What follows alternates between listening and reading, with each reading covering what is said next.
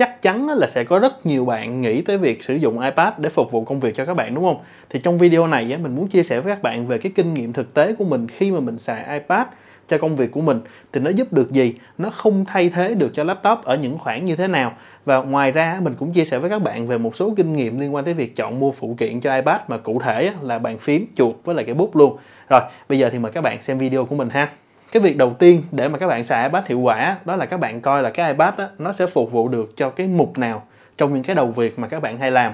Ví dụ ha thỉnh thoảng khi mà mình đi ra cà phê mình ngồi bàn việc với lại khách hàng của mình đó mà nếu mà mình không cần phải làm cái gì đó liên quan tới code đó chắc chắn là mình sẽ đem theo iPad.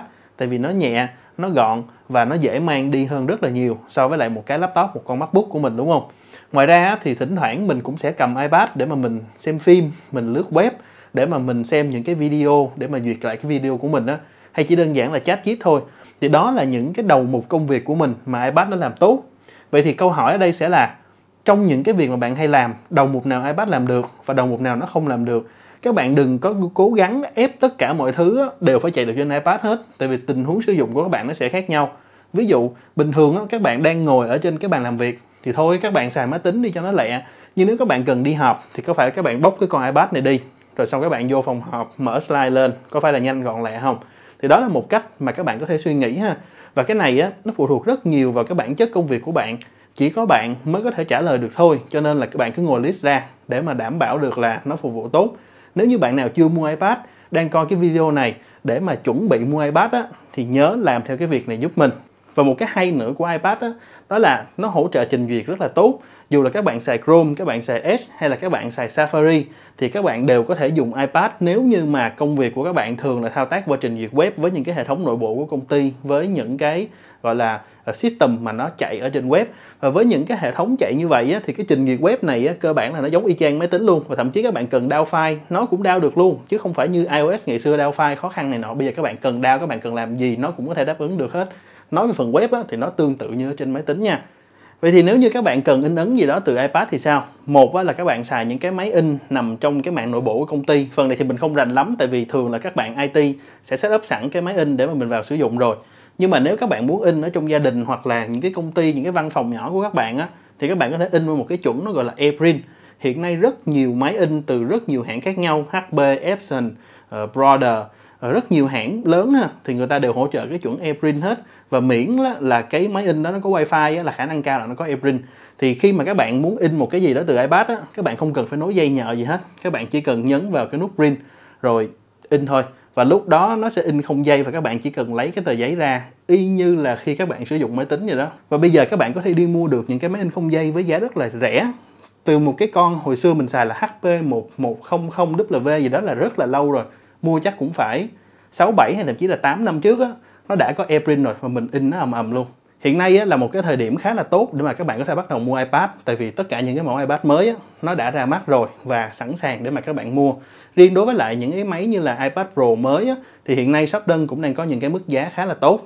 Đối với lại iPhone 14 Pro Max á, đang giảm 7 triệu MacBook Air M1 giảm 9 triệu Apple Watch Series 7 á, giảm 4 triệu cùng hàng loạt sản phẩm Apple giảm tới 35% nha trong chương trình Hãy nói lời yêu. Đây là chương trình tri ân 8 tháng 3 của shop Đơn kéo dài từ ngày 4 tháng 3 tới hết 31 tháng 3 luôn nha. Chưa hết, họ còn có những cái hot sale cuối tuần, cứ cuối tuần là sale với mức giá cực kỳ hấp dẫn. Số lượng có hạn, các bạn nhớ tranh thủ ghé qua cái đường link bên dưới để xem thêm thông tin. Và các bạn cũng không cần phải lo về vấn đề bảo hành. Đồ Apple mà shop đơn bán á, thì đều là hàng chính hãng hết cho nên các bạn có thể đem tới bất kỳ trung tâm bảo hành nào cũng được. Ngoài ra thì các bạn cũng có thể đem tới những trung tâm bảo hành của shop đơn nữa. Đây là những trung tâm bảo hành ủy quyền của Apple, nhanh, trách nhiệm, nhiệt tình. Đừng quên đăng ký nhận thông tin hot sale và săn deal giảm tới 35% ở cái đường link mình để trong phần mô tả của video nha. Tất cả những cái mà mình nói nãy giờ các bạn thấy là nó rất đơn giản đúng không? Cái iPad bây giờ nó làm được rất nhiều việc rồi mình muốn nhấn mạnh lại như vậy ha. Và thậm chí nếu mà các bạn làm những cái việc office cơ bản không có cần phải gọi là trình bày cái văn bản quá là màu mè để tới mức mà cái layer này phải chọc lên layer kia thì trên con iPad nó hoàn toàn có thể đáp ứng được mà khi mà các bạn làm office như vậy thì có thể các bạn sẽ cần tới chuột và bàn phím à, thì bây giờ chúng ta qua phần kế tiếp đó là chuột và bàn phím của iPad á, thì mua như thế nào cái hay của iPad á, là các bạn có thể kết nối được chuột và bàn phím Bluetooth với nó. Ngoài ra nó cũng có thể kết nối được cả chuột và bàn phím USB nữa ha. Mà khi đó thì các bạn phải mua cái hub tại vì à, nó có một cổng USB-C thôi. À, riêng đối với mình thì mình sẽ ưu tiên chọn giải pháp Bluetooth hơn là tại vì nó đỡ cồng kềnh và khi nào các bạn cần các bạn chỉ cần bật chuột và bàn phím lên có thể bắt đầu xài rồi không có phải cắm dây rồi cắm USB receiver các thứ thì nó quá mất thời gian và nó cồng kềnh nữa. Các bạn có thể mua bất kỳ một cái bàn phím và chuột Bluetooth nào theo tiêu chuẩn là được ha. Không cần phải theo một cái bộ Apple gì hết á. Các bạn mua cái vài trăm ngàn cũng được, các bạn mua bộ mấy triệu cũng được, tùy vào túi tiền của các bạn đang có thôi. Ví dụ, bản thân mình thì mình đang xài cái bàn phím của Logitech với lại con iPad này. Ngon lắm các bạn, đâu vấn đề gì đâu và thậm chí lúc mình gõ, mình cảm thấy nó còn thích hơn là gõ cái cái bàn phím Magic Keyboard cũ của mình nữa kìa. Còn nếu như các bạn muốn mua những cái bộ chuột và bàn phím của Apple á thì các bạn có thể xem thử cái bộ Smart Keyboard. Thì nó là cái bộ mà nó vừa là cái bàn phím nó vừa có cái trackpad bên trên. Ngoài ra thì nó còn có thể làm một cái cover cho cái iPad nữa. Thì đó cũng là một cái lựa chọn hơi mắc tiền. À không phải nói là rất mắc tiền. Nhưng mà nếu các bạn xài được cái bộ đó thì mình nghĩ là uh, sẽ các bạn sẽ thích á. Nhưng mình xài thì mình cũng khá là thích. Chỉ có điều là gắn vô thì nó hơi nặng thôi. Một cái giải pháp khác đó giống như nói lúc nãy đó mua chuột và bàn phím rời. Rồi các bạn mua thêm cái chân dựng iPad giống cái mình đang xài nè chừng 70 ngàn thôi vậy là xong rồi đó. Vậy thì nó đôi khi nó còn gọn nhẹ hơn nữa. Vậy thì còn với bút cảm ứng thì sao? Với cái bút cảm ứng thì các bạn có thể mua Apple Pencil. Đương nhiên cái đó là quá tốt rồi. Nhưng mà nếu các bạn không có đủ kinh phí, các bạn hoàn toàn có thể mua được những cái cây bút của bên thứ ba ha. Đa số nó vẫn đều chạy tốt với lại iPad và thậm chí mình còn thấy có những cái cây bút mà nó có những cái tính năng rất là giống với lại Apple Pencil luôn. Nó cũng có thể sạc được không dây bằng kích thích vô cạnh máy. Nó cũng có nhận diện đầu bút các thứ ui đủ thứ hết đó thì cái phần đó các bạn có thể tự search Google ha. Ra rất là nhiều những cái mẫu để các bạn lựa chọn. Rồi, trước khi kết thúc á, thì mình muốn chia sẻ với các bạn một số cái app mà bản thân mình đang xài trên iPad và mình thấy là nó tối ưu rất tốt cho cái màn hình lớn của iPad ha. Đầu tiên chắc chắn không thể thiếu là bộ Microsoft Office, Word, Excel, PowerPoint. Công ty mình cũng xài bộ Google Drive nữa nhưng mà với những cái ứng dụng của Google thì mình thấy là nó không được tối ưu cho iPad như là những cái bộ Office của Microsoft cho nên là mình vẫn khuyên các bạn là chơi bộ Microsoft Office thì ngon lành hơn. Ngoài ra mình có một cái app email tên là Outlook cũng của Microsoft luôn. Ở cái app này mình đã xài cho iPad từ năm 2015 tới bây giờ và nó chia cái màn hình ra rất là thông minh. Ngoài ra nó cũng phân loại email cực kỳ thông minh ha. Những cái email nào mà không quan trọng nó chia một bên, email quan trọng nó chia một bên. So với lại Gmail thì cái cách chia này mình thấy là nó đỡ rối hơn. Ngoài ra mình cũng thích giao diện của Outlook hơn nữa tại vì nhìn nó đẹp, nhìn nó sạch sẽ, gọn gàng. À và tên là Outlook thôi ha nhưng mà các bạn có thể add email công ty, các bạn có thể add Gmail, add Yahoo Mail vào thoải mái không vấn đề gì cả. Nó chỉ là đơn giản là một cái trình quản lý email mà thôi. Ở một cái app khác nữa mà mình cũng đã từng chia sẻ với các bạn đó, đó là Notion. Thì Notion là cái app chủ yếu là để mình ghi chú và mình quản lý công việc của mình trong đó. Mình kéo những cái task khác nhau rồi trong những cái task mình chèn ghi chú vô và công ty mình thì cũng xài Notion để mà ghi chú luôn. Cho nên là xài Notion trên iPad là cực kỳ sướng. Và đừng quên là xài cái app tệp hay là còn gọi là cái app file nè mình có một cái video riêng mình nói với các bạn về cái chuyện quản lý file trên iPad như thế nào rồi nó cực kỳ giống với máy tính luôn không có quá khác biệt đâu các bạn có thể xem kỹ lại ở trong cái video đó để có thể tận dụng cái iPad của mình tốt hơn ha.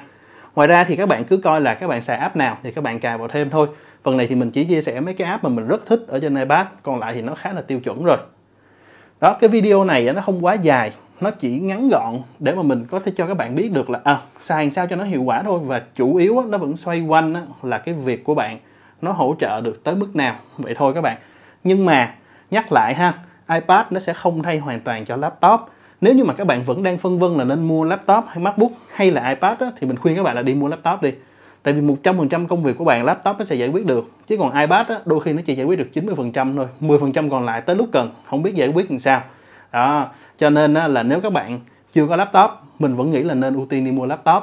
Trừ khi bạn biết chính xác là công việc của bạn vì sao không cần laptop thì ok các bạn không cần phải mua. Nhưng mà với đa số mọi người thì mình vẫn khuyên các bạn là có cái laptop trước iPad thì sẽ mua sau ha và nếu như các bạn tận dụng cái iPad đúng và hiệu quả nó sẽ giúp được cho công việc của bạn rất nhiều.